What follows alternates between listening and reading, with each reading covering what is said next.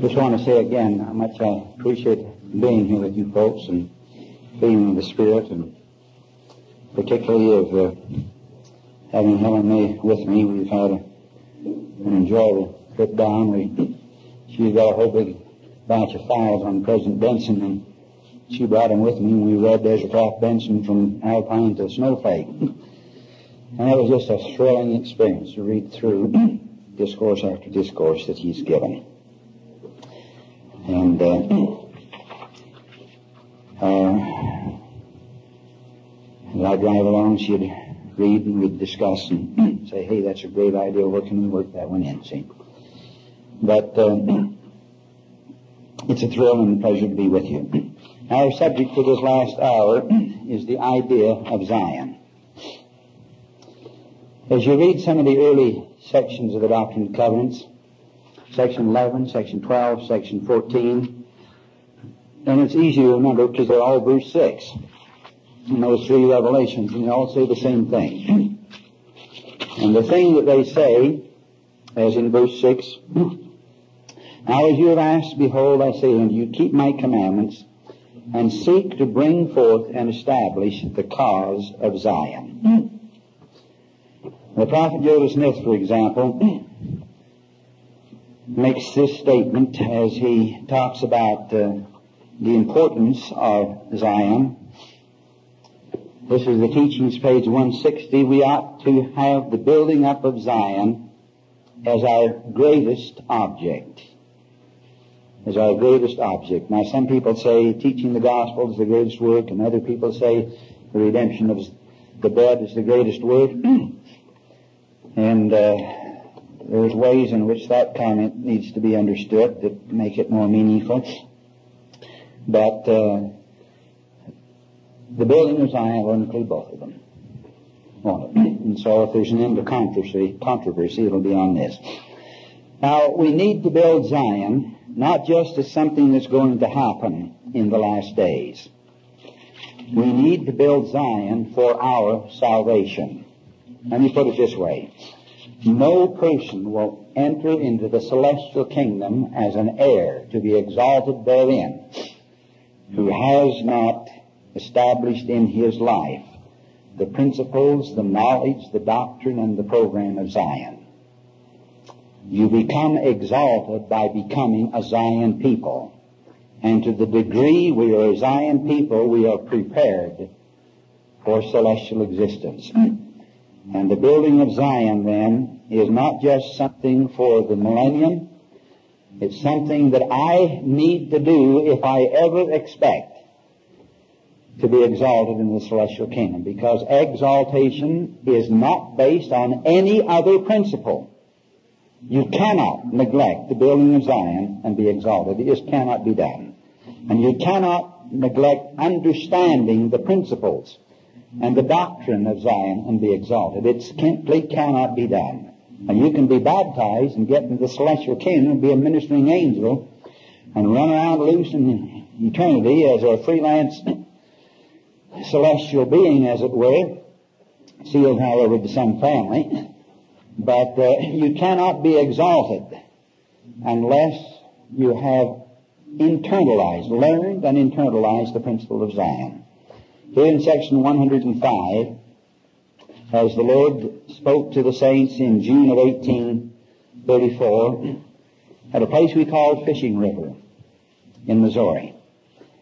Uh, the setting is Zion's camp, which had traveled this thousand miles thereabouts from Kirtland to Missouri to give the saints support in being reinstated upon their lands. And uh, while they got there, when they got there, the Lord gave this revelation. Verse 2, Behold, I say unto you, were it not for the transgressions of my people, speaking concerning the church, not individuals, they might have been redeemed even now. But behold, they have not learned to be obedient to the things which I required at their hands, but are full of all manner of evil, and do not impart of their substance as becometh saints to the poor and afflicted among them, and are not united according to the union required by the law of the celestial kingdom. That union is a union based on spirit, testimony, the revelations of God's will and mind in each person, which brings a natural union. And he says, and Zion, verse 5, cannot be built up unless it is by the principles and the law of the celestial kingdom. Otherwise, I cannot receive her unto myself. Now that last phrase is very, very important. And it has more than one application. It means for the here and now, for this earth, that Christ will not come in the second coming until he has a people established on the principles of the law of the celestial kingdom. You can talk about the second coming, you can speculate when it's going to take place, but you write this down that he will not come in his glory and in his power until there is a body of people living the full law of the Doctrine and Covenants concerning Zion. It simply will not be. Because he cannot come and receive them unto himself.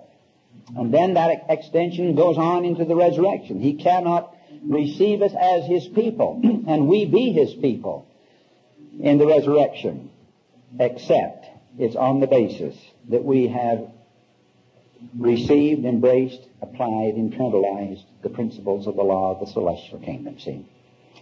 And so this is very important. now, in the inspired revision of the Bible, in the book of Genesis, there's an interesting uh, statement there that uh, has its basis in a covenant which the Lord made initially with Enoch and then renewed with Noah. And this applies then in its fulfillment to us in the latter day, or to that body of people who will finally build Zion in preparation for Christ's millennial reign. In verse 17 of the inspired revision of Genesis 19, I will establish my covenant with you which I made unto Enoch, speaking now to Noah, concerning the remnant of your posterity. And God made a covenant with Noah and said, This shall be the token of the covenant I make between me and you for every living creature with you for perpetual generations. I will set my bow, that is the rainbow, in the cloud, and it shall be for a token of the covenant between me and the earth. And it shall come to pass when I bring a cloud over the earth, that the bow shall be seen in the cloud, and I will remember my covenant, which I have made between me and you for every living creature of all flesh. And the water shall no more become a flood to destroy all flesh. And the bowl shall be in the cloud, and I will look upon it and remember the everlasting covenant which I made with thy father Enoch. And here's the gist of the covenant. That when men should keep all my commandments, Zion should again come on the earth, the city of Enoch, which I have caught up into myself.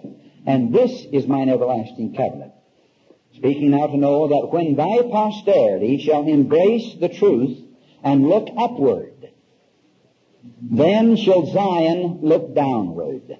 And all the heavens shall shake with gladness, and the earth shall tremble with joy, and the general assembly of the church of the firstborn. See, those members of that church are mainly on up there.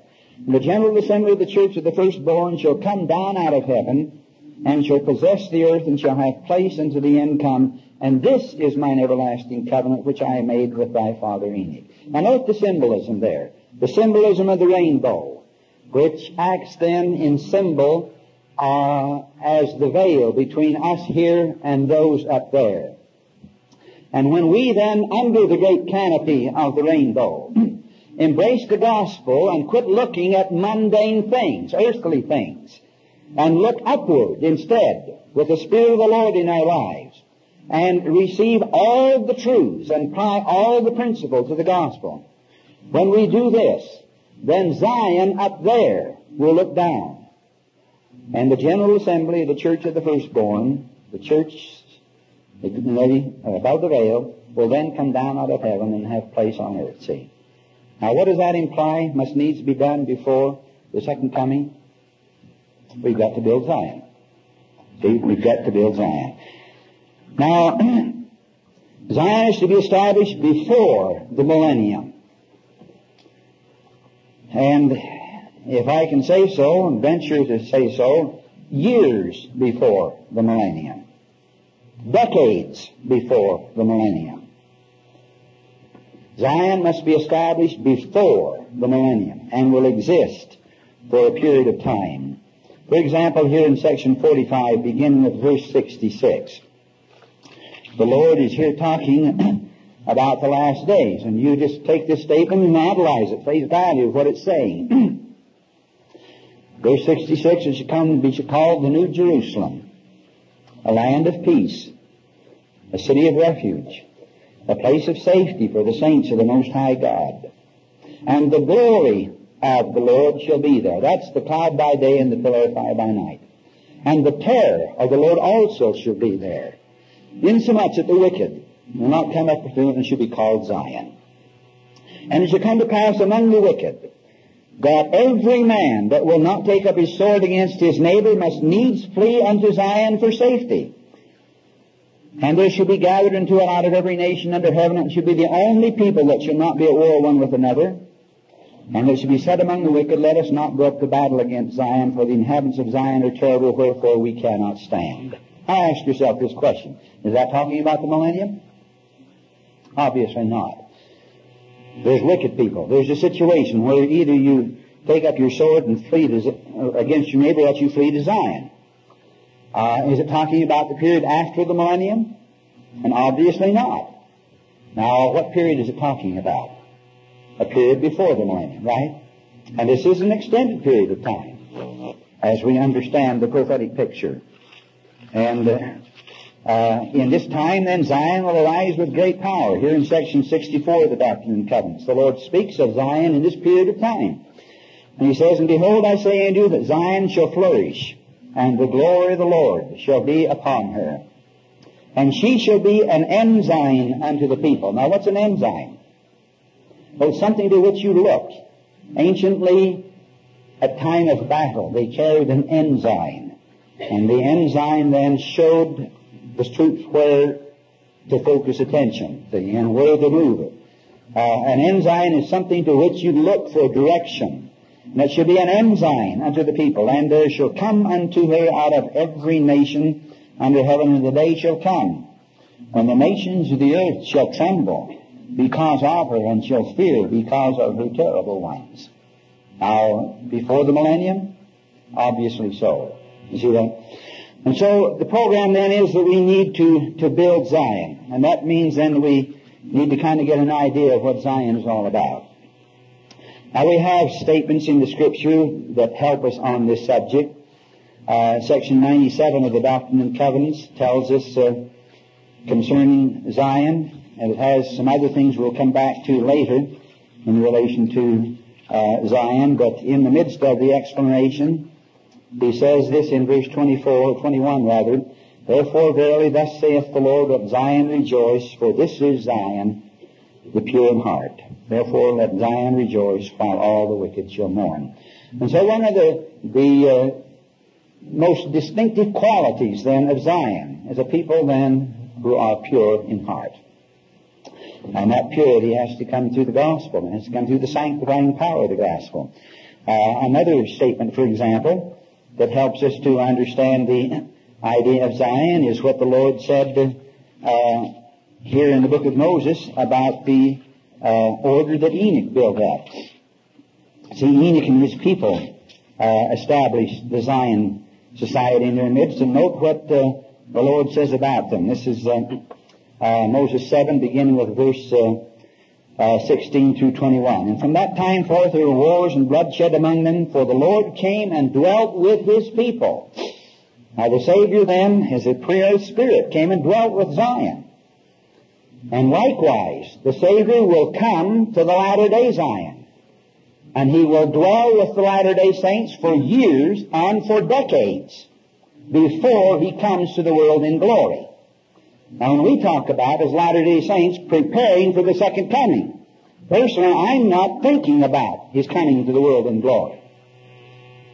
That's uh, looking beyond the mark. The thing I'm thinking about is when Isaiah 59 is fulfilled, that the Redeemer shall come to Zion. And from there to those then who turn from ungodliness in Jacob, see. And this is much closer. This is much, much closer as a period of time. I don't venture to prophesy, but uh, we're living at a time then that is very, very near when many people will personally and individually see and receive instructions from Christ our Redeemer. As I've said then, he will be in Zion for years prior to his coming in glory. I will get to that when we talk about the prophetic picture uh, this evening and tomorrow evening and Saturday evening.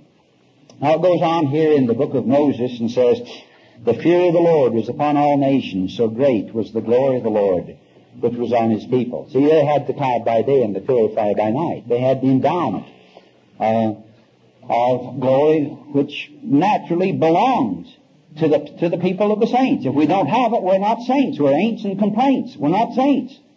If we're really saints, we'll have the endowment of glory. And I've looked over top of my house several times and I've never seen it. And I haven't seen it over anyone else's either. I've had some beautiful spiritual experiences and so have all of us, see?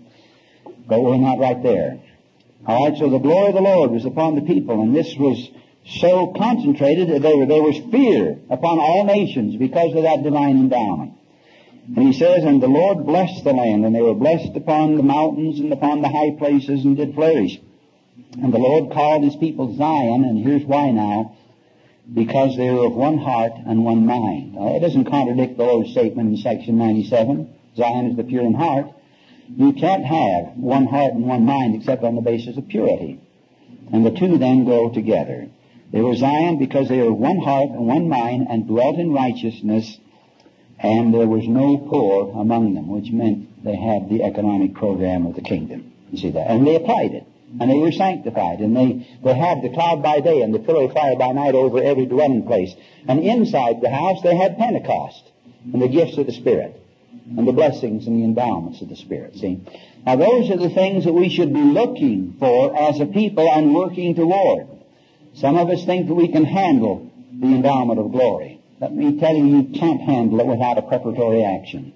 You can't handle it. Just simply cannot be done unless there is a preparation for it. And that preparation then is accomplished then through service and through devotion and through the study of the scriptures and through fasting and through prayer and through personal discipline and through the meekness of Christ in our lives. See, it simply cannot be handled because the endowment is such and it's so dynamic and so forceful and powerful. And with it goes the responsibility of the greater endowment that opens up the onslaught of the adversary against the individual, commensurate with what he's received. And so we have to work and prepare for the endowment of Zion with glory. And the Lord goes on and says, He continued his preaching in righteousness of the people, and it came to pass in his day that they built a city which was called the city of holiness, even Zion. Now, this means to me that Zion has both a spiritual and what may be called a natural or temporal basis. It has the law of consecration and stewardship as a basis. But above all, it has the foundation of spiritual renewal. People who have been born again. People who have been changed and transformed spiritually people who have awakened unto God and who enjoy the spirit of revelation and the gifts of the Spirit. And it's right at this point where the rubber meets the road that President Benson is talking to us today. See? And it's for this reason that so many of us are under condemnation. See? Because we're saying all is well in Zion. Look at the number of temples we've built in the last five years. Look at the number of missionaries we've got out. And essentially we are aping the ways of the Gentiles, economically and socially, and we've translated the achievement in that realm and made it a substitute for getting the gifts of the Spirit and living by the Spirit and getting the revelations of the Spirit and getting the love of God in our hearts, see? And we've done that to the extent that we have turned to secularism and materialism and there's lethargy in our midst. And we don't want to listen too much to the gospel because it just isn't of interest and it's, after all, hard to understand. And yet, here we are with the challenge then of, of building Zion. Let me give you this definition of Zion. Zion is a body of saints established on the full program and covenants of the gospel so that they so that they that are partakers of the truth and power so that they are partakers of the truth and power of God and made pure in heart united in one mind and heart sealed to eternal life and lives by the holy priesthood and endowed with God's glory as a cloud and smoke by day and a pillar of fire by night. Now the day will come when as Latter-day Saints, some of us at least, will come to the standard. In the Book of Mormon, Nephi puts 19 chapters, or there are at least 19 chapters from Isaiah. Many of them are put there by Nephi, and then the Savior puts one there, and then Abinadi puts a full chapter there. But uh, a couple of these chapters uh, of Isaiah are chapters 3 and 4. And they both deal with the Latter-day Saints and the cleansing that's going to come to the saints.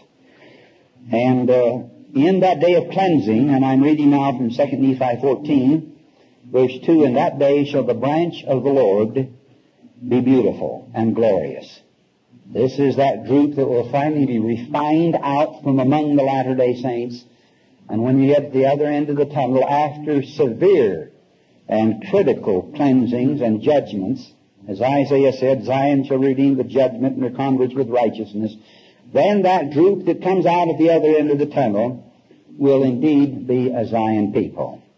They may be sitting out here somewhere in the desert, but they'll have the cloud by day and the pillar of fire by night. They'll have Pentecost in their midst.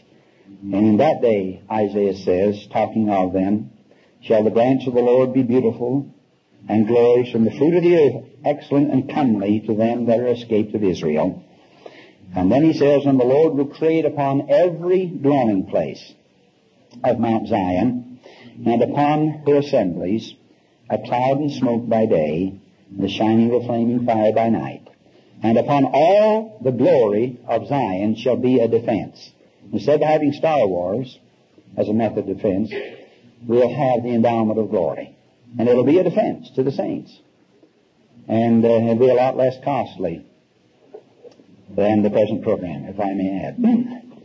All right, now, Zion then isn't really Zion until we come to this point. And Nephi tells us that this point is going to be achieved through opposition. In 1 Nephi 14, he sees this great uh, era of warfare against Zion, which I think we discussed with you when I was here before. And uh, this becomes an important key because it's out of this setting that Zion finally arises and becomes the standard and ensign that she's supposed to be. Note Nephi sees that the multitudes among all nations are gathered together to fight against Zion. And that will include the American nation against the saints. And it will be something more than the media. It will be military, and it will be, it will be lawlessness, and it will be a devastating kind of thing where the Lord will have to step in to preserve His people. But he says, And it came to pass that I, Nephi, beheld the power of the Lamb of God, that it descended upon the saints of the church of the Lamb, and upon the covenant people of the Lord who were scattered upon all the face of the earth. And they were armed with righteousness and with the power of God in great glory. Now that's where Zion begins to rise and be an ensign. Under those circumstances. And then Zion becomes what may be called Mount Zion. And the two terms then have a distinct meaning. And let me just spend a little time with you now on the the term Mount Zion. But let's first of all turn to section 84 of the Doctrine and Covenants to get uh, uh, an introduction to what the Lord has to say about it here in this early revelation as He speaks uh, to the saints clear back here in January of, uh, rather September of, of 1832. In verse 2, he says, Verily the word of the Lord concerning his church established in the last days for the restoration of his people as he has spoken by the mouth of his prophets, and for the gathering of his saints to stand upon Mount Zion, which shall be the city of New Jerusalem. And then having said that, he explains, which city shall be built beginning at the temple lot, which is appointed by the finger of the Lord in the western region or boundaries of the state of Missouri, and dedicated by the hand of Joseph Smith Jr. and others with whom the Lord was well pleased. Verily, this is the word of the Lord, that the city New Jerusalem shall be built by the gathering of the saints, beginning at this place, even the place of the temple, which temple shall be reared in this generation. And that's one time where men failed, but the Lord didn't. And so, in section 124 of the Doctrine and Covenants, he cancels out the immediate responsibility, doesn't cancel out the ultimate fulfillment, but for that day then he set the work aside. He says, For verily this generation, speaking of the original declaration, shall not all pass away until a house shall be built unto the Lord, and a cloud shall rest upon it, which cloud shall be even the glory of the Lord, which shall fill the house. And then as he comes back to that same theme in verse 31, after talking about the sons of Moses and of Aaron in the priesthood, not their sons in the flesh, sons in the priesthood, he then says in verse 34, Therefore I said concerning the sons of Moses, for the sons of Moses and also the sons of Aaron shall offer an acceptable offering and sacrifice in the house of the Lord, which house shall be built unto the Lord in this generation upon this consecrated spot as I have appointed. And the sons of Moses and of Aaron shall be filled with the glory of the Lord upon Mount Zion in the Lord's house, whose sons are ye? And also many whom I have called and so forth, see? All right, the Lord's desire then is to do what? To build Mount Zion. And uh, Mount Zion is to be endowed with glory, the cloud by day, the pillar of fire by night. And the sons of Moses and Aaron, the sons in priesthood of Moses and Aaron, then are to be endowed with this glory. And had the Lord's program gone forward and the saints been as faithful as they ought to have done, that would have happened in that generation. But we have a more sad story to tell, see. Now, people who become celestial people are people who are established on Mount Zion. Note, for example, what the Lord says in section 76 of the Doctrine and Covenants, verse uh, 66 as he speaks now of the celestial kingdom.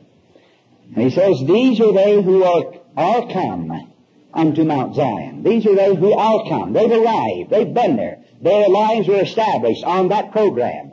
And hence they are celestial. See? These are they who are come unto Mount Zion and unto the city of the living God, the heavenly place, the holiness, the, uh, the holiest of all.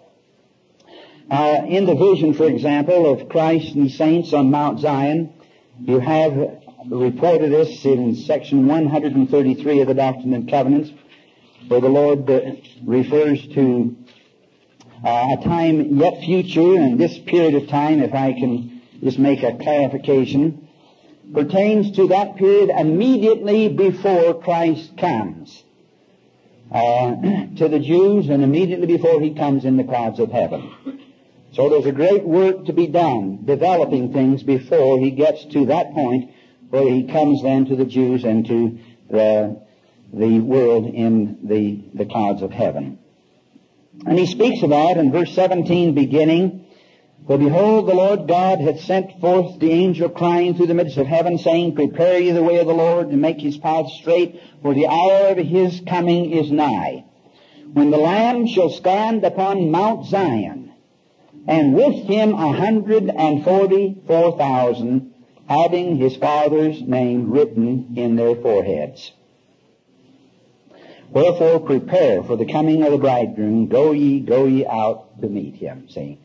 Now he's talking then about incidents prior to and preparatory developments for the second coming.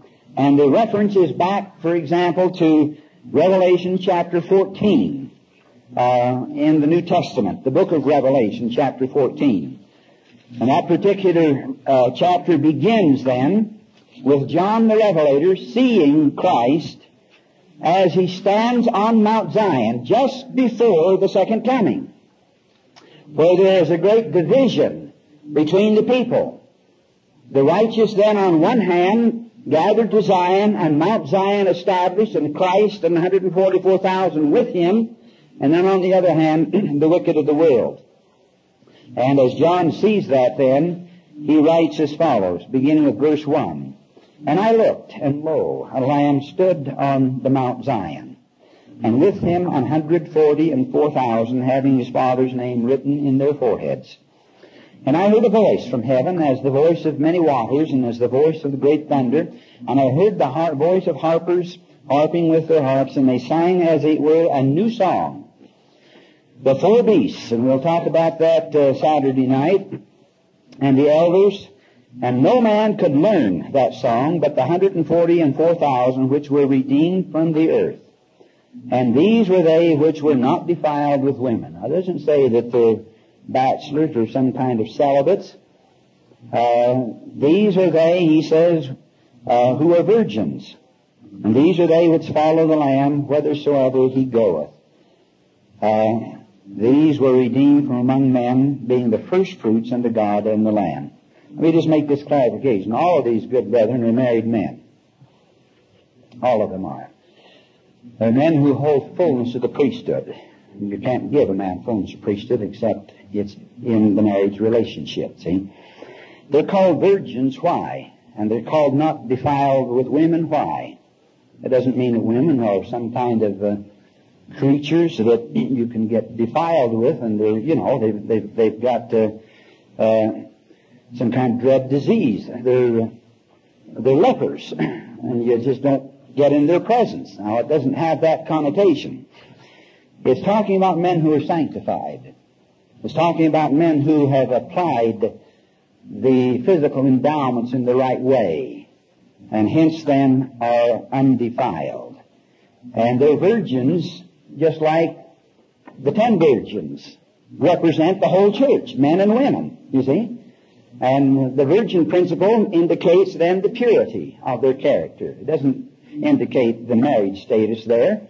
It indicates the purity of their character. But the truth is, as section 77 makes it very clear, that these are men who hold the keys uh, to bring people into the church of the firstborn, fullness of priesthood and the sealing powers. And to get to that level of development, only those things are only given by and in and through the sacred covenants of eternal marriage. So all of these brethren are married. But it says, they follow the Lamb whithersoever he goeth. And uh, in their mouths was no guile, for they are without fault before the throne of God. Now, the 144,000 then have a special relationship with Christ. They follow him whithersoever he shall go. They're the great harvest uh, program of the latter day. Men who are endowed with powers of the priesthood to bring people into the church of the firstborn saint. And all of this will be done. And you finally come to the point where where the saints will stand on Mount Zion with Christ and the 144,000 before the second coming. Now to get to that point then, Christ will come to the saints in Zion years before. Years before. And there will be a development in relation to the Zion program and the building of that Zion program. And then it will consummate in him standing on Mount Zion with 144,000 ready now to institute the great and final events that bring his millennial reign into power. The cleansing of the earth. The going to the Jews and the cleansing and the final coming in glory. See? Now that's the picture we need to get. And we need to see then, first things first, we need to see where we are. We need to see that we've got a living prophet that's saying, hey, we need to get sanctified. We are running behind time spiritually. We are not where we ought to be as a church in relation to spiritual renewal and the knowledge of the Book of Mormon. We've got a prophet who we thought was just going to talk about politics. But instead, he talks about the most vital and important things. Not the politics are unimportant. I have three degrees in politics and for whatever that's worth, but at least uh, they are important and they have an important role to play. But politics isn't worth a hoot, if I can put it that way, except by a virtuous people and by a people then who are sanctified. The founding fathers established this nation with the intent that it could not be sustained except by virtuous people. And we'll prove that statement true if we don't watch it. All right, so Mount Zion will be established. Now, what is Mount Zion? What does it mean? Well, let me just explore the idea. Uh, let's first of all start with the word mount. And I'm using now as a noun, not a verb. Uh, used as a verb, oh, go mount your horse. See, that's a verb. Now let's use it as a noun. What is a mount? Well, a mount is that upon which something rests or is established for use or, or for exhibition. It, for example, is the card, etc., upon which a drawing or photograph is mounted. It's the mount, the basic mount. It's the saddle horse used for riding. That's your mount. The Royal Canadian Mounted Police. Okay? They are on their mount. The mount is that on which they sit, on which they rest. And so, primarily then, a mount used as a noun is a foundation, a platform, a basis on which something else is established. Okay? Now that's one meaning. Another meaning is that it's an elevation, as in the earth's surface. When used as part of a proper name, it usually precedes the specific application as, for example, Mount Washington, or Mount this, or Mount that, see? It's an elevated thing. Now, put the two ideas together, the two points combined. The mount then is the divine order of principles, ordinances, and powers on which Zion rests, by which she is elevated as a true ensign and standard to the world. Mount Zion is established on the sacred principles, rites, covenants, and powers of the temple, and thereby elevated to be an ensign. Let me put it this way that Zion is a temple-centered, temple-founded society. And Zion becomes Mount Zion when she is established upon the sacred covenants of the house of the Lord. The sacred covenant of obedience. The sacred covenant of sacrifice. The sacred covenant of the law of the gospel, which is the Sermon on the Mount in its pure statement. Living outside ourselves in service to others, see the sacred covenant of virtue and chastity, the sacred covenant of consecration by which we're prepared to enter through the veil into God's presence to be heirs of God and joint heirs through Christ. When we, instead of just getting our hands in the air, really establish our lives on that foundation, and then go on to receive the sealing powers and the endowment of glory that comes through the sealing power, so that there is a cloud by day and a pillar of fire by night over every dwelling place. Then we have, and then only, do we have Mount Zion. Or, in other words, then only do we have Zion established upon her mount. Her mount being the order of rites, principles, powers, sealing ordinances, fullness of priesthood, and endowment of the temple, see? Now that is the way we need to move. And that's why it's so very, very important that we not only enter the temple to be married, but that we go back time and time and time again. So that we study the mount on which Zion is established. And we become familiar with it. And we internalize it and make it part of our lives. And having been through the sacred ceremony of the holy endowment, then we sit quietly in the celestial room, and we talk about how can we establish our lives on the sacred covenants that we've just made. How can we really do it, see? And this within the framework that the prophet is establishing. How can I really become a temple saint? How can I really apply those things? Uh, in that sense, then, uh, the temple is important, and it's not just uh, uh, something that we do now for the dead. I used to get the idea when I was a kid, you know, and was interested in the circus, that the church and the temple were something like a circus. In the circus, you have the big top, and that's where everything really takes place. And then out to the side over here, you have the little sideshows that go on. And uh, those sideshows are interesting. One, for example, in some years past, a guy was standing up saying, come see the horse with his tail where his head ought to be. And that was a real attractive thing. And people were lined up and put down their quarters and walked in.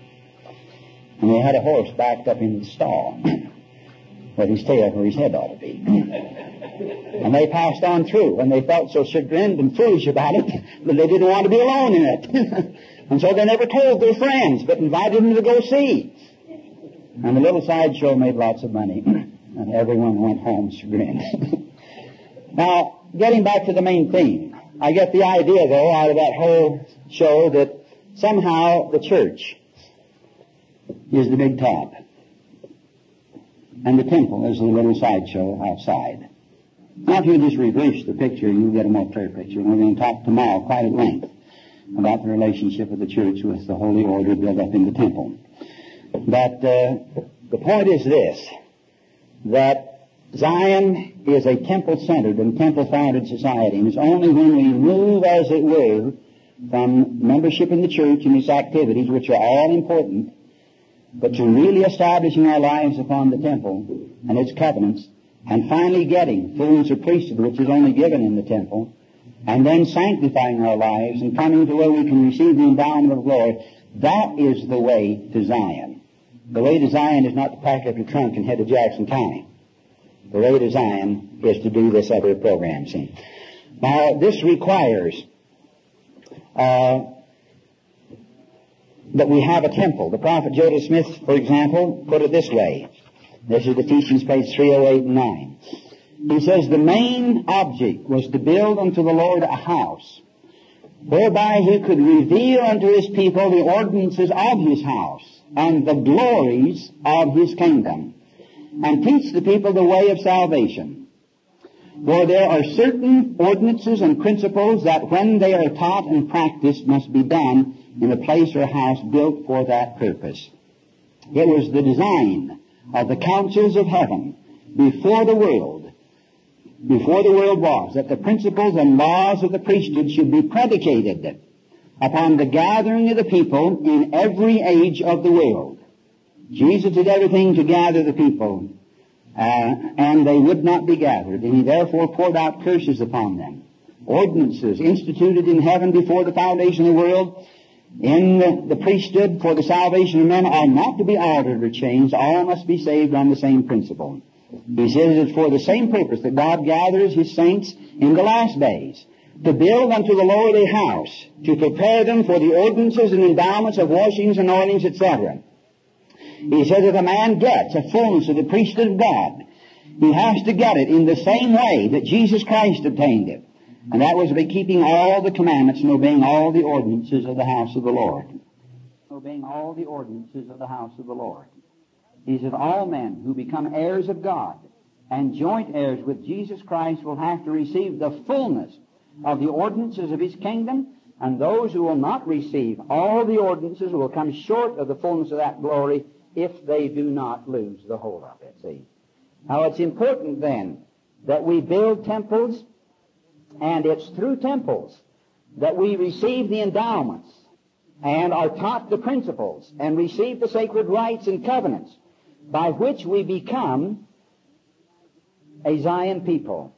And except we become a Zion people, then we cannot be exalted. Now, for example, Zion, or the temple, is the basis of the endowment of Zion with glory. Let me turn to section 124 with you, one of the revelations that deals with the uh, temple and its relationship to Zion. And here, beginning with verse uh, 36, the Lord says this For it is ordained that in Zion and in her stakes, and in Jerusalem, those places which I have appointed for refuge shall be the places for your baptisms for your dead. And again, verily I say unto you, how shall your washings be acceptable unto me, except ye perform them in a house which ye should build into my name? For for this cause I commanded Moses that he should build a tabernacle, and that he should bear it with them in the wilderness, and to build a house in the land of promise.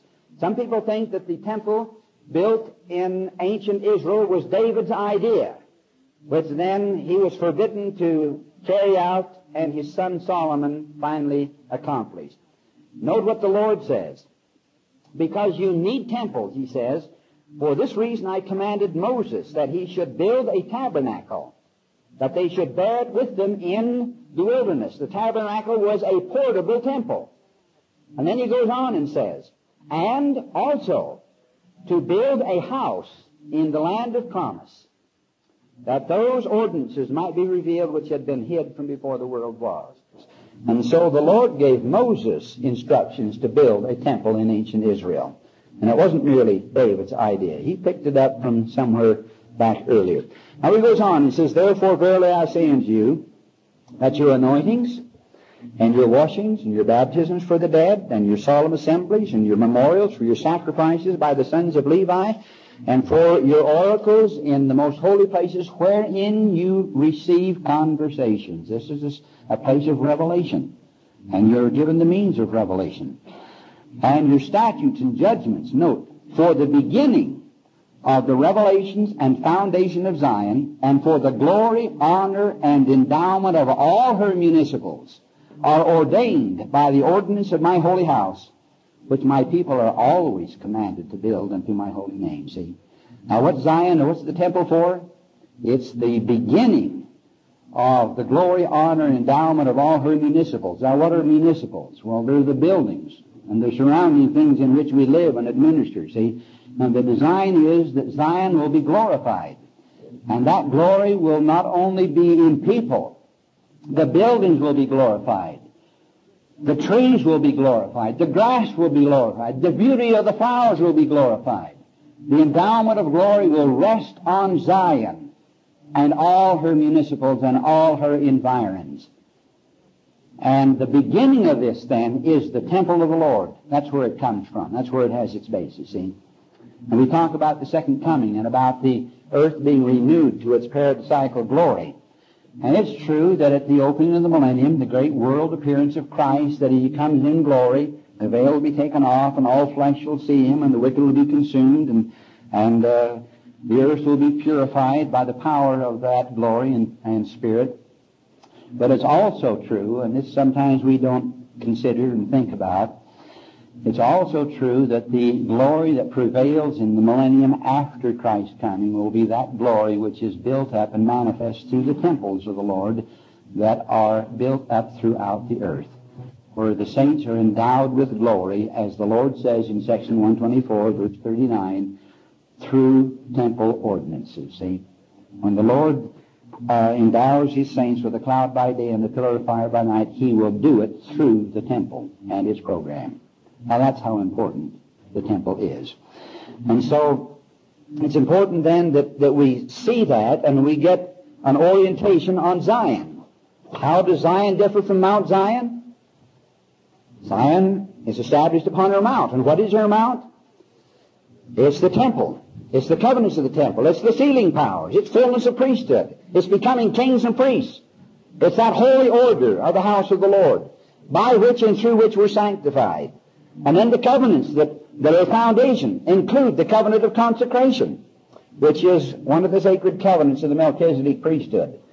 And when we have been to the temple and received that, and then our next step is to go to the bishop and say, I'm ready to consecrate now in actual fact. And when we're ready to do that and build the Zion society and really become serious and really get the job done and sanctify our lives as we meet together and counsel each other and teach and talk and minister to each other. And we finally become a sanctified people, where the Lord then can place the sealing powers upon His people, and then endow them with glory. Then we'll be somewhere near ready for the second coming. Then we'll be somewhere near ready for the second coming. See? Now that's the job that we have to do. Now as we talk about Zion then, uh, Let's keep in mind that this is the way that we are to come to God, to be sanctified, partake of Christ's glory. Let me suggest you just take a look at section 45 for a minute, verse uh, 8 through uh, 15, where the Lord uh, uh, has some important things to say. He says in verse 8, I came unto mine own, and mine own received me not. But unto as many as received me, gave I power to do many miracles, and to become the sons of God. Now, apply that to me. Do I have power to do many miracles? Become the sons of God? If I've come in the right way, I should. Not that I'm so great, but that the Lord is in me.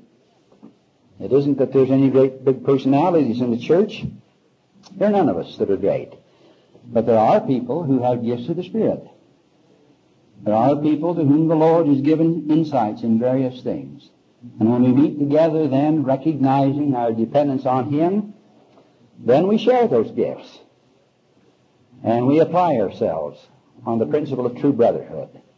And on that basis, then we become a Zion people, see. Now, early in this dispensation, one of the great revelations of modern scripture, beginning with the Book of Mormon, is the fact that the New Jerusalem will be built in America. Now, the old pioneer or, or pilgrim and Puritan fathers suspected that. And uh, I can show you statement after statement among those uh, early brethren where they talked about the building of the New Jerusalem in America. And that's an interesting thing. When they came over here, they came here not just to find a new land, they came here to establish the New Jerusalem. And uh, one important thing, though, the Book of Mormon tells us about is that the New Jerusalem would be built in America. Here in Ether chapter 13, uh, Ether, that great prophet of the Jaredite nation, uh, makes some very important uh, disclosures concerning what the Lord had shown him about it in verse 4. Moroni writes of Ether, saying, Behold, Ether saw the days of Christ. And he spake concerning a new Jerusalem upon this land. He spake also concerning the house of Israel, and the Jerusalem from whence Lehi should come, after it should be destroyed. It should be built up again, a holy city unto the Lord. Wherefore it could not be a new Jerusalem, for it had been in time of old. But it should be built up again and become a holy city of the Lord. And it should be built unto the house of Israel. And that a new Jerusalem should be built upon this land unto the remnant of the seed of Joseph, for which thing there was a type. And then he gives this illustration, for as Joseph brought his father down into the land of Egypt, even, even so he died there. Wherefore the Lord brought a remnant of the seed of Joseph out of the land of Jerusalem, that he might be merciful unto the seed of Joseph, that they should perish not, even as he was merciful unto the father of Joseph, that he should perish not. Wherefore the remnant of the house of Joseph should be built upon this land, and it shall be a land of their inheritance, and they shall be they shall build up a holy city unto the Lord, like unto the Jerusalem of old, and they shall no more be confounded until the end come when the earth shall pass away. See? Now when people read the Book of Mormon, they knew the New Jerusalem was going to be built here. And then you read, for example, in 3 Nephi chapter 20, where the Savior confirms this as he ministers among the Nephites. And he says here, 3 Nephi 20, uh, verse 22, And behold, this people will I establish in this land unto the fulfilling of the covenant which I made with your father Jacob. And it shall be a new Jerusalem, and the powers of heaven shall be in the midst of this people. Yea, even I will be in the midst of you. See, that's where Christ is among the saints in the New Jerusalem. And this is prior to his coming in glory, see? And so they knew that. Now, knowing that, then, there were a lot of people who had some special interest in it. The question was, it was going to be built in America. Where? Where in America? And it was right at this point that this good brother, Hiram Page, we've talked about last hour or so, who had this seer stone that he found and was looking through it and getting revelations, he began to reveal to the saints many things, as he supposed, uh, concerning the New Jerusalem. And he had a ready audience because the Book of Mormon said it was going to be built here. And here now is a prophet that's been raised up and he's going to tell us all about it. And Oliver Cowdery got led by, astray by it, and uh, uh, the Lord had to straighten things out. Now here in section 28, the Lord then, under these circumstances, gives us the first intimation as to where the New Jerusalem will be built. Note what he says, for example, uh, in verse 9. And now behold, I say unto you, that it is not revealed And no man knoweth, particularly Hiram Page. Okay? And no man knoweth where the city of Zion shall be built. But it shall be given hereafter. Now here's the clue. Behold, I say unto you that it shall be on the borders by the Lamanites. Now what did that term mean to people in that day? What was the western border of the United States? It was the Mississippi River, was it not? On down through there. And the Lamanites is the territory westward, okay? And so he says now, behold, it shall be on the borders by the Lamanites, not over into Lamanite territory, but right next to the border. And uh, with that in mind, then, the prophet Joseph Smith commissioned Oliver Cowdery uh, and uh, Peter Whitmer Jr., Parley P. Pratt, Richard Ziba Peterson, to go on what we call in church history the Lamanite mission. They had two purposes. One was to teach the gospel to the Lamanites. the second purpose was to do the spade works for the establishment or the designation of the New Jerusalem. They went forth to do that work. And so as a result of their mission, they headed west. They went on up into New York, met some Indian people on down there, dropped down into the area of Kirtland and planted the gospel there. And uh, a phenomenal conversion took place.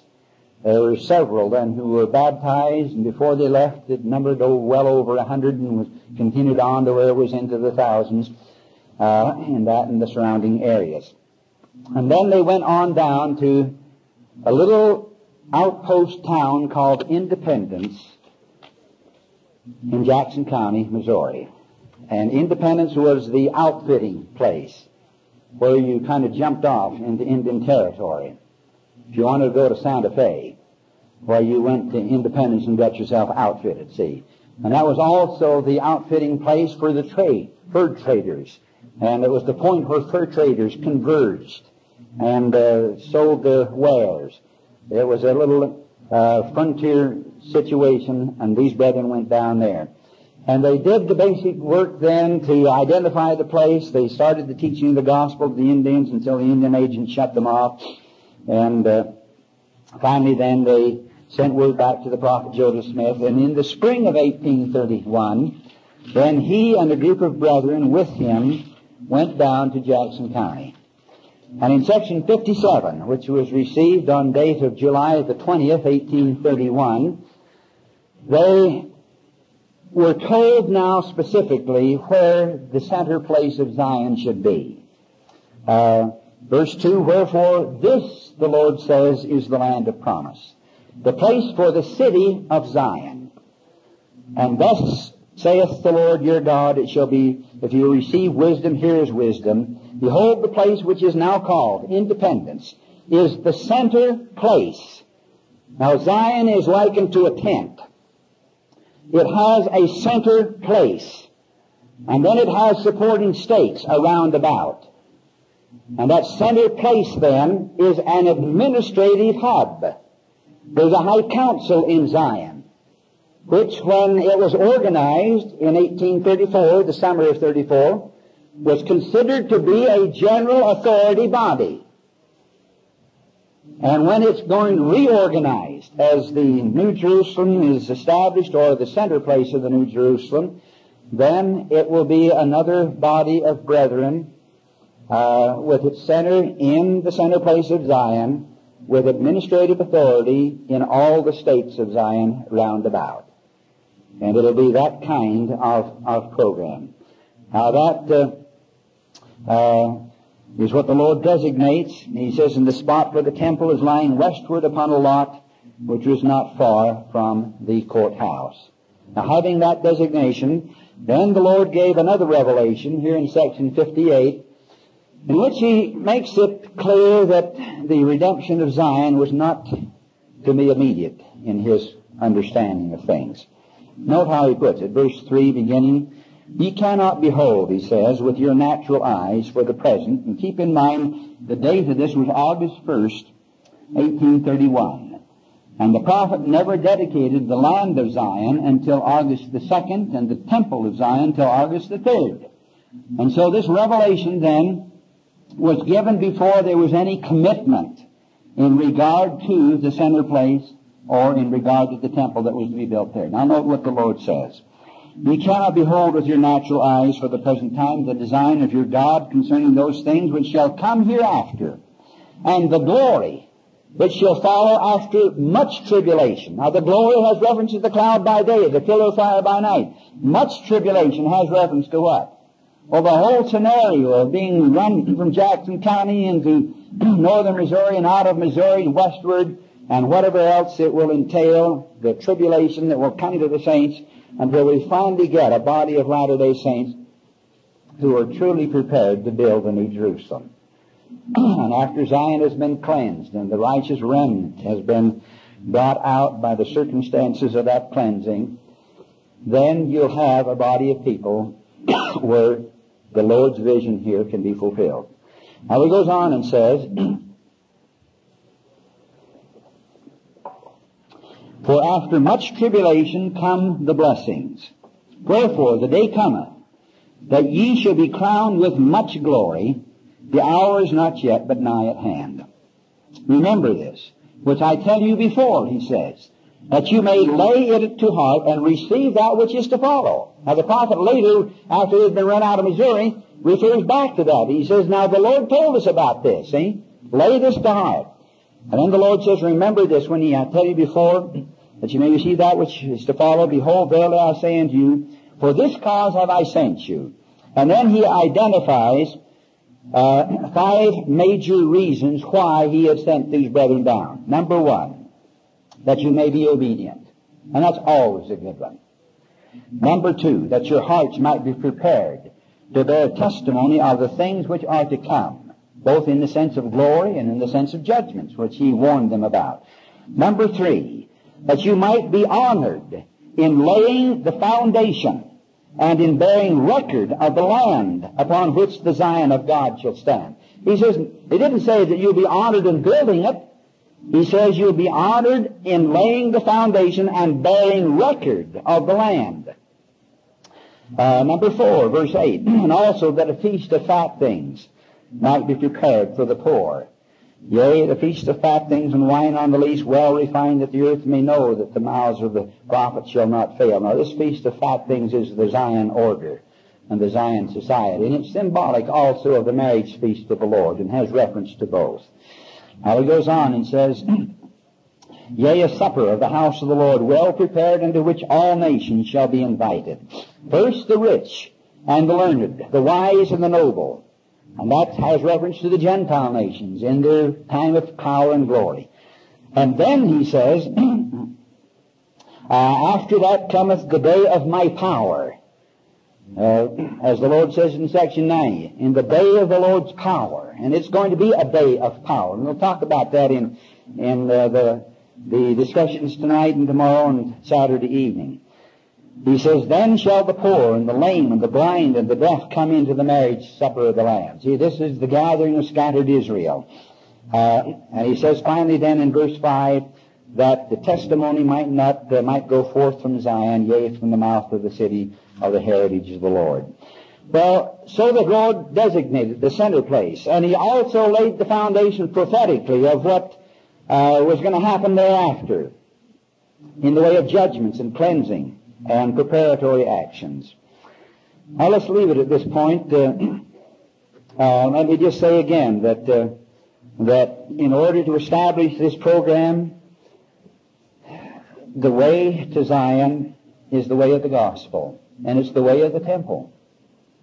It's the way of the gospel, and it's the way of the temple. It's the way of the Sermon on the Mount. And it's the way that leads us to be kings and priests unto God and to rule and reign with him in the eternal house of Israel. See? And when we get that order built up, then we'll have Zion, because that's the end result of that order to build. And uh, Christ is the great King of Zion. He is the Lord and the God of Zion. And uh, Zion is the thing that he thinks most precious in his mind, aside from his children. And it ranks on a par even with the sacredness of his children because it's only when you get Zion that you get everything else that's worthwhile. That's why Isaiah was so infatuated with Zion. He knew that when Zion was established, Israel would be gathered. He knew that when Zion was established, peace would be established in the earth, and the lamb would lie down with the lion. He knew that when Zion was set, that the Lord would reign. He knew that when Zion was established, the earth would be renewed to its glory and its power. He knew all those things were conditional upon Zion. And so Zion is the, the great thing that the Lord loves. He's the God of Zion, and He loves Zion, and it's His desire to build it. May the Lord bless us, my brothers and sisters, that we might grasp a little of that vision and that love in our lives and do it, and then share with the Lord in the joy that He has and the reward He has with Him for those who build Zion. I pray in Jesus' name. Amen. We can have some questions. Is Zion a society of people who have all received sanctification? The answer is yes. What kind of earthly employment would you expect a sanctified person to be engaged in? Zion, the employment of Zion isn't something that is foreign to us. It's rather the infusion of God's law and of His truth and His spiritual power into what we do. And that includes every profession, including lawyers. It does. Includes every profession. It's the sanctification of every profession. But not only we've got to be sanctified, we've got to sanctify our professions. And there's more, as we've hinted here already, we need to be sanctified more than others, see. All right, who are the 144,000 who will be with Christ? Will any of them be saints not born of parents in the church? These people will be men who have, uh, and they won't be just limited to this dispensation. There'll be those from past dispensations, and there'll be those from earlier times in this dispensation who will be raised up and uh, uh, who will administer this last great program of the gathering of the righteous. Uh, and this gathering won't be just the converting of them and gathering to Utah Arizona or somewhere in Western America. This gathering is to the temple, to the Holy of Holies, to the fullness of priesthood, to the endowment of glory, see. It's that gathering. And they perform that work. And then when Christ comes in His glory, the only people that are going to be caught up to meet Him, the only people that will be caught up to meet Him in, in the clouds of heaven will be the church of the firstborn. He's not going to have a bunch of Gentile saints caught up there. We'd all be burned like bedbugs in a bonfire. I mean, he's going to he's going to gather the church of the firstborn. Read section 78. It tells us that, see? How there will be those who will abide the day of his coming. Uh, the heathen nations will. They won't be burned. The telestial elements, the corrupt elements, they will be consumed. But uh, others will abide the day. But those who are caught up with him into the clouds will be those who have been sanctified and who have been brought into the church of the firstborn through the ministry of the 144,000. And there's a lot more to it than that. We may get to it if we have a little time later. Will there be more than one who will lead the 144,000 such as Christ himself, or will he commission one in mortal form to play a part in the building? Uh, you understand the book of Revelation, understand that the, that uh, uh, John the Revelator will have a role in this, so also will the four great gospel angels who've restored the gospel in uh, earlier times. I refer to Peter and to Moses and to Elias and to Elijah. Uh, they will have a role to play in this work, uh, but also there will be a living prophet on earth. And uh, the divine beings and eternal beings will communicate and carry out work then through the living prophet. Are the 144 uh, couples or priesthood holders only? Are the 144 couples or priesthood? And the answer is yes. They've got to have fullness of priesthood. and uh, each of them will have a, a beautiful wife We will play a part in that. I want you sisters to know that. We get the idea that the only way you can hold the priesthood is to hold your hubby. And I, I counsel you to do that. But anyone who's been to the temple knows that women administer in priesthood ordinances. Now, in the church, you do not. But in the temple and in the Zion order, women do admin, hold and administer priesthood rites in connection, as Joseph Smith, that's the term he used, in connection with their husbands. See? And that's true of 144,000.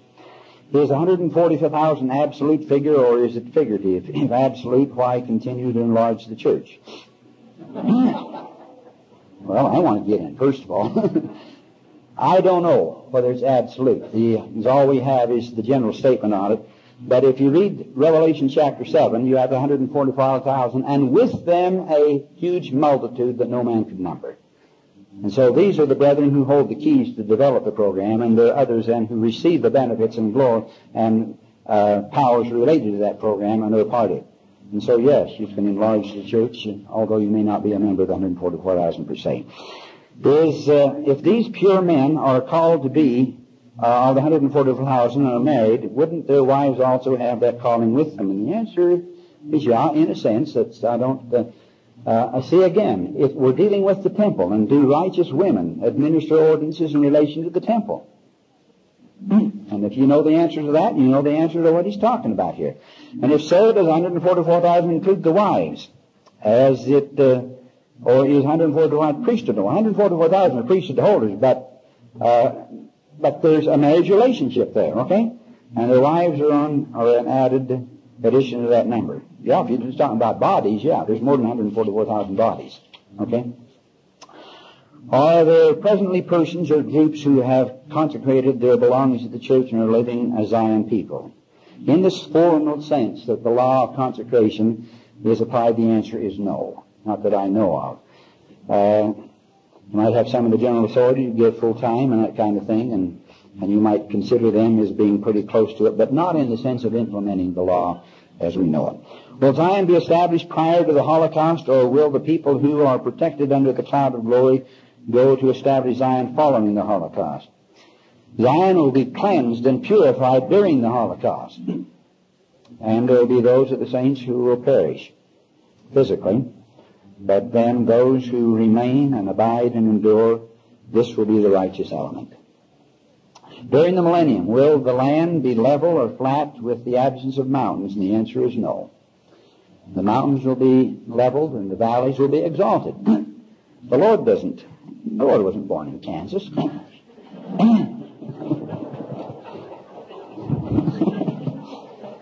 now, he's a mountain man.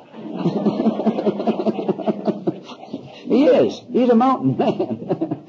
and he's just not going to put everything down table level, believe me. Yes, there'll be mountains that'll be leveled, and there'll be valleys that'll be exalted, and you just kind of turn things around. But you're going to have some beautiful scenery in the millennium. All right, during the millennium, as resurrected beings, will we spend a thousand years during the temple work, doing the temple work for the living and the dead? No resurrected being will minister in the temple.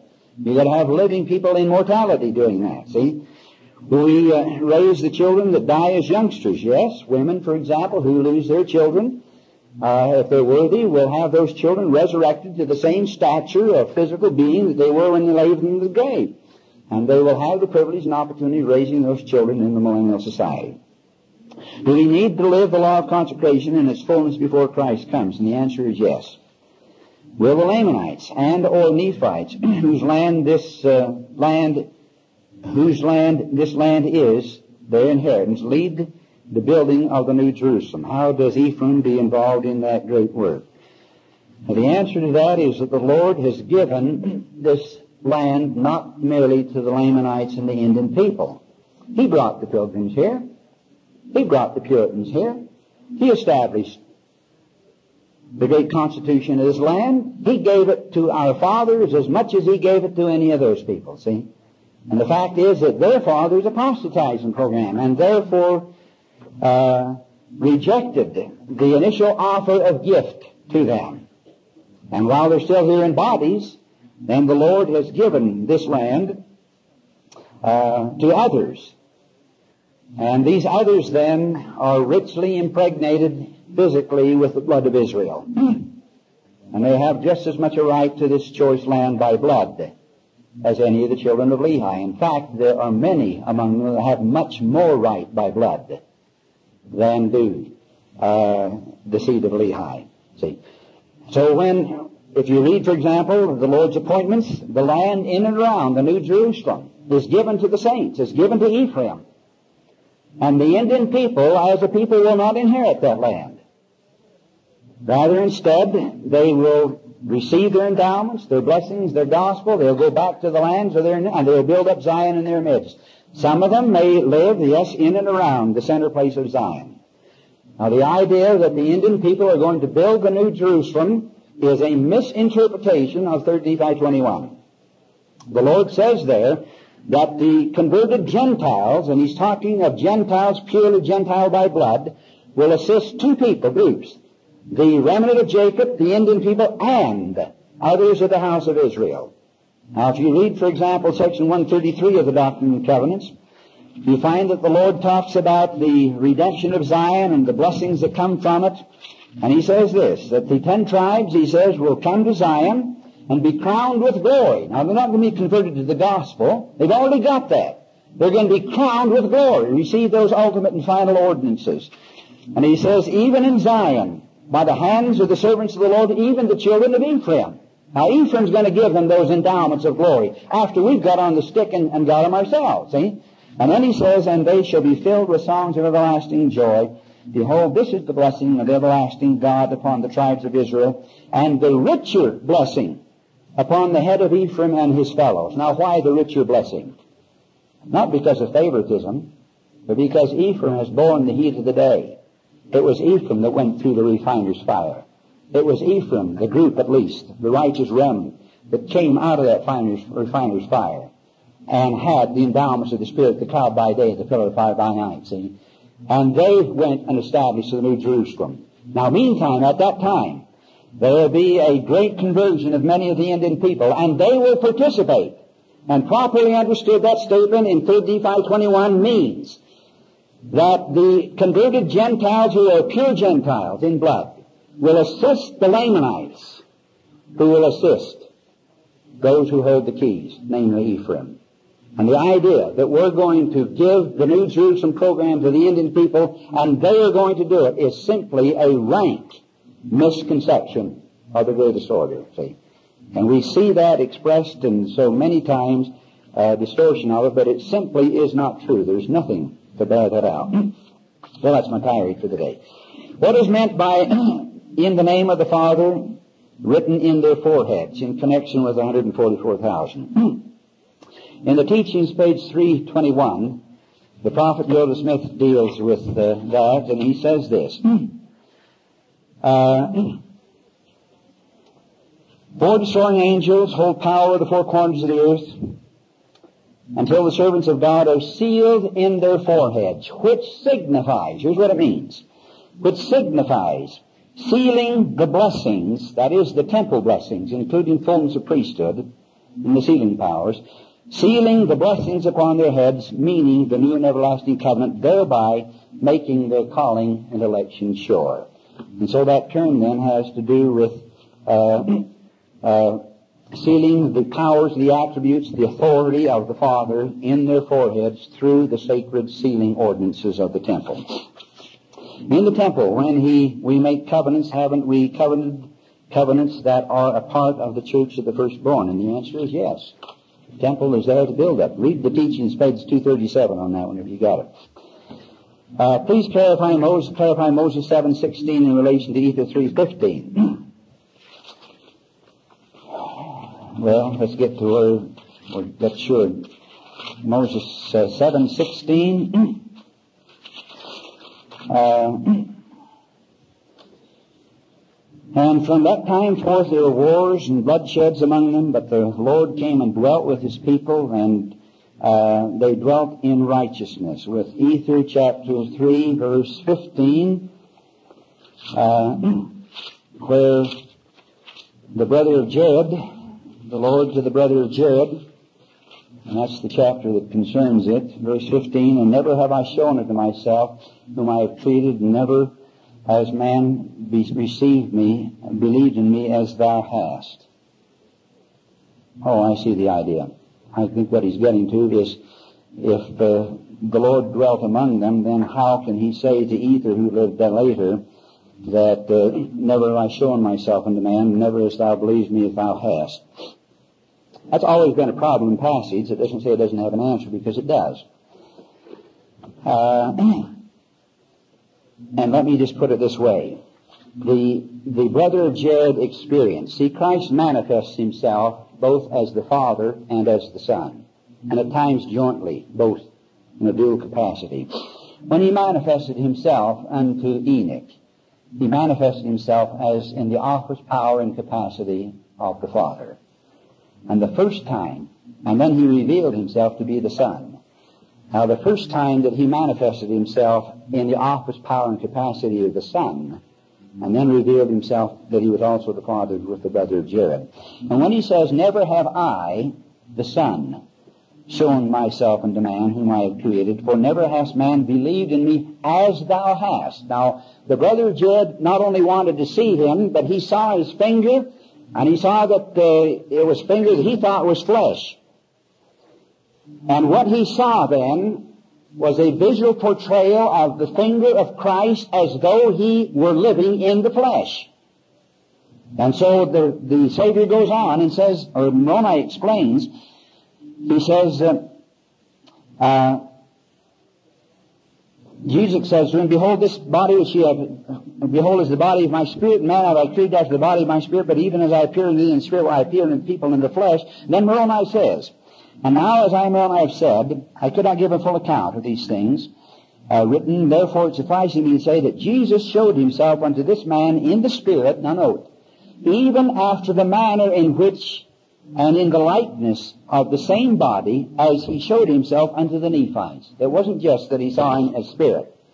He saw him as though he would appear among the Nephites. And this then was his role as the Son. And then that being who made that disclosure of himself, not just a spirit personage, but as he would be on earth, and as he would manifest himself in the resurrection to the Nephites, that being who portrayed to the brother Jared that vision of those things, then revealed that he was also the Father, see? Now, and this is the first time that that kind of revelation had been given. Not that he had never appeared to man before, because the Lord appeared unto Adam in the valley of Adam-ondi-Ahman. Did that Father Adam have temples? And the answer is yes. Recently, I heard the rumor that in Salt Lake City, a sermon meeting of Provo, that all 144,000 would be chosen from Ephraim, not from any other tribe. Well, that's contrary to Scripture.